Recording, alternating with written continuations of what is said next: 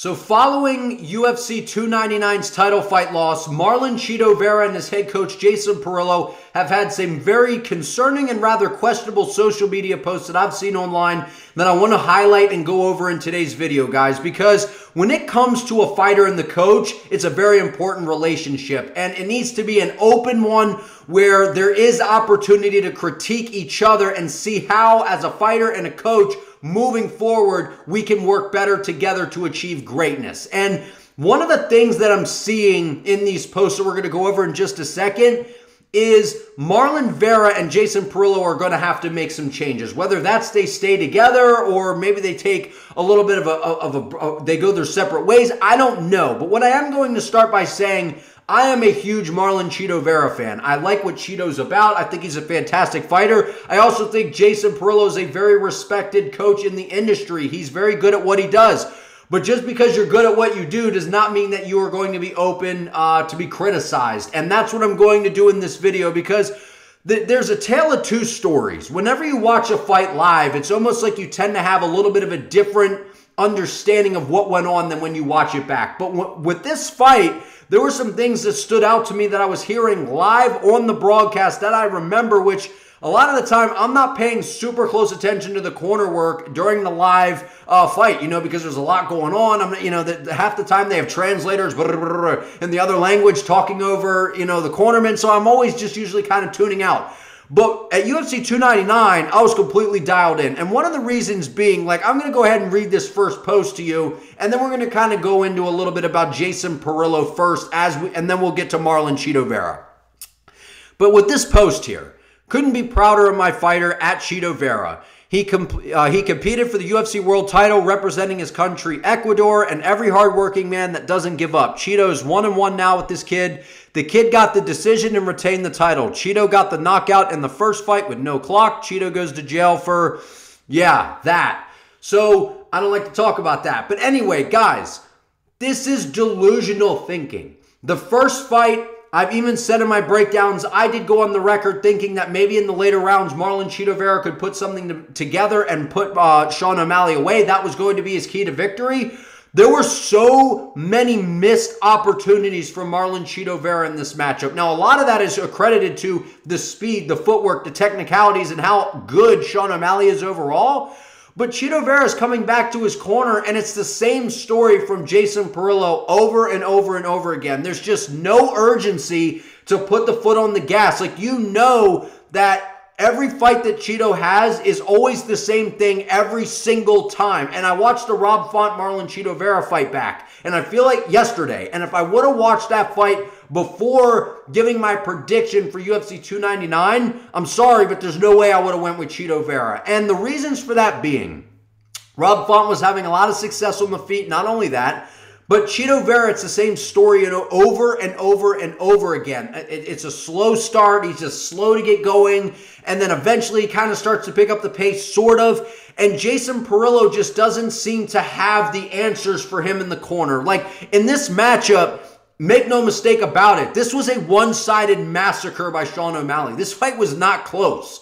And there were no suggestions to Marlon Chito Vera to switch up what they were doing in the game plan, right? And and and so that's kind of why I'm coming at Jason Parillo's, you know, some of the corner advice because there's nothing like why were you not Marlon Vera is a guy that has great submissions. He's not known for going out there and chasing takedowns, but you're standing in front of one of the best strikers the UFC has to offer and possibly has ever seen in terms of the technicalities of the striking and you're getting pieced up on the feet why are we not level changing? Why are we not trying to close the distance? Why are we not ending our combinations with a leg kick or something to try to get to Sean O'Malley?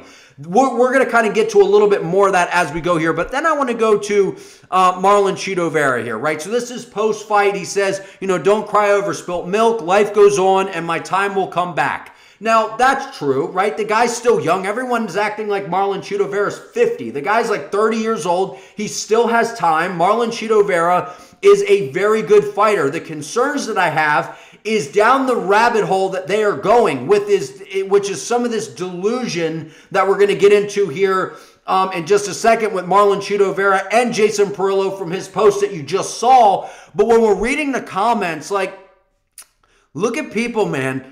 They are just, you know, you should change your coach. Don't cry over hair, hair gel. You know, like th- this comment right here, trilogy soon, uh, soon. Sean would have been dead if that was a street fight. Like, guys, at the end of the day, it's when these MMA guys go in there and they box and they're like, oh, if it was a real fight. It's not a real fight. You know it's not a real fight. You signed up for this. It's five rounds, it's 25 minutes, and you know that you have 25 minutes to make something happen. And that's why I'm critiquing Jason Parillo as well, because Jason Parillo your guy, Marlon Vera, is a fantastic fighter. He has good submissions. Why are we not encouraging a level change? Why are we not encouraging, hey, listen, let's put our hands up. Let's try to move forward. I know that the guy's fast on the outside. Like, let's be honest with our fighter here. Let's not just, you know, ask questions of, are you with me? Are you, like, I understand that some, there's a time and a place for that. We are in a title fight.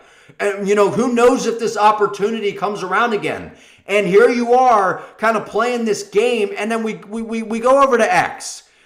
You know, Marlon Chito has been on the MMA Hour um, with Ariel Helwani, and he said a lot of different things. One, he was going after Corey Sandhagen for the YouTube thing, and it's like, first of all, Corey Sandhagen has really, really high fight IQ, and Marlon Chito is taking some digs at him. Like, come on, man. Corey Sandhagen, yeah, he won a boring decision over you, but he he won that pretty fair and square, I'd say. I would say it was pretty much domination. And then we go on here. Every time I was grabbing Sean, it was like grabbing a fish out of water. Marlon Chito Vera says that he was extremely greasy. Now, with the utmost respect, how the hell would Marlon Chito Vera know if Sean O'Malley was greased? Because I got to tell you, I don't think I could count on one hand the amount of times that Marlon Chito Vera w- w- was able, it was in distance to even grab Sean O'Malley at all in that entire fight. Sean O'Malley kept him at range the entire matchup, just kept stinging him with shots from the outside, kept his footwork. You know, every time Marlon Chito Vera is trying to cut him off, Sean O'Malley just keeps on moving, circling off. The, just the delusion coming from Marlon Chito Vera and his coach Jason Parillo here is just not a good look, in my opinion, for what is going to happen moving forward. But those are just a few pieces uh, uh, of, of evidence that, that I wanted to show you that kind of back up what I'm going to say at the in conclusion here.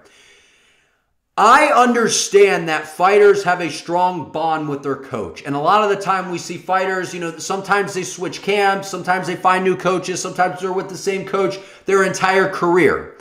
I'm not encouraging Marlon Chito Vera to leave Jason Parillo. I'm not encour- I'm never encouraging someone to just be disloyal and go jump ship or whatever it might may be. But we see this happen in fighting all the time. Sometimes you're just not you're not making those steps that you need to make in order to get to that level that you know you can finally reach. And with Jason Parillo, it's great that he supports Marlon Chito Vera. And I'm sure outside of fighting, these guys are very close. They're good friends and they have they have a strong bond.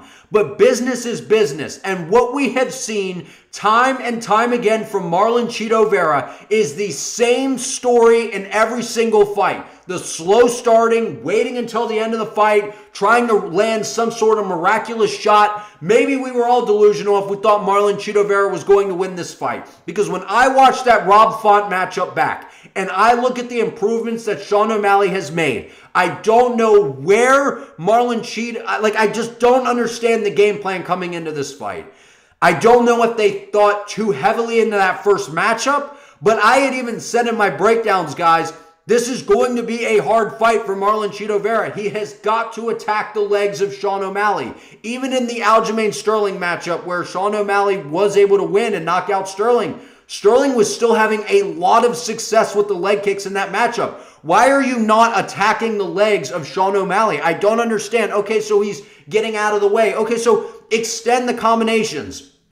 You, you, you come in with a blitz like we've seen Jan Blachowicz do this. We've seen guys do this. We've seen Poirier do this. Come come blitzing in with a couple of shots. Tuck your chin and and, and try to uh, behind the punches, add in those leg kicks. And we didn't see any of that. So if that's not the route you're going to go, then why are we not trying a level change? Why are we not trying some different things instead of just sitting on the outside and letting Sean O'Malley snipe us at range? Because if it wasn't for the durability and just the sure will and fire that Marlon Chito Vera possesses, this would have been a finish. And it would have been a finish on the end of Sean O'Malley. And the only reason that that liver shot happened was because Sean O'Malley, he kind of was listening to his coach until the last seconds there. He didn't see, I guess, much threat coming back his way. Decided to hang out in the phone booth and ate a really hard uh, liver shot by Marlon Chito Vera. And O'Malley's lucky, actually, that there wasn't, you know, that much time left. I know that he knew the clock and he knew how much time was there, but still, when you get hit with that liver shot, it drops you and it kind of just shuts you down for, you know, 10, 15, 20 seconds, whatever it is.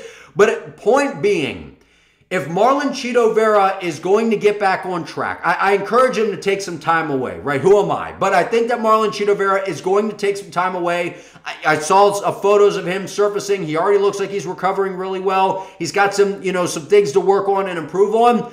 But we have got to start seeing more urgency from Marlon Chito Vera, and we need to see more influence in the corner of Marlon Vera to approach these fights in an MMA fashion. Utilize your skill sets. You have nasty out elbows. You have nasty ground and pound. You do have good submissions.